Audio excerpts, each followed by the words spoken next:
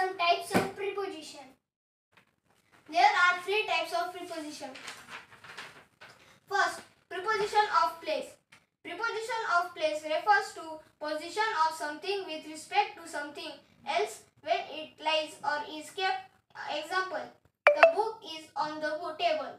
Here, on is the preposition of place. Second, preposition of time. Preposition of time conveys the idea of time. It is simi- uh, similarly to the preposition of place, but in uh, is used in a different way. For example, the boss has called a meeting at 9 o'clock. Here, at is preposition. Third, preposition of direction.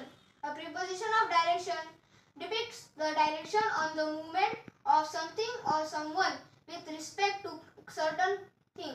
Example, the the ran around the pie thrice.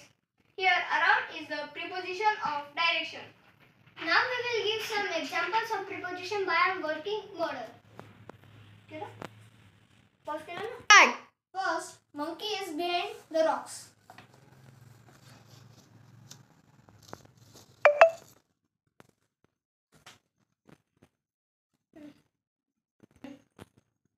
Monkey is behind the rock. Here, behind is a preposition. Next, now monkey is under the tree.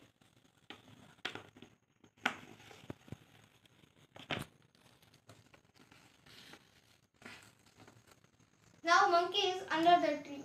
Here, under is a preposition. Now monkey sat on. Now monkey sat on the tree. Here, on is a preposition of place. Here, monkey is over the tree. Here, over is a preposition. Now monkey sat on the tree. Here, on is a preposition. Now monkey came between these two trees. Here between here between is a preposition. Here monkey is in front of grass. In front of is a preposition. Here in front of is a preposition. Now monkey is in the basket. Here in is a preposition.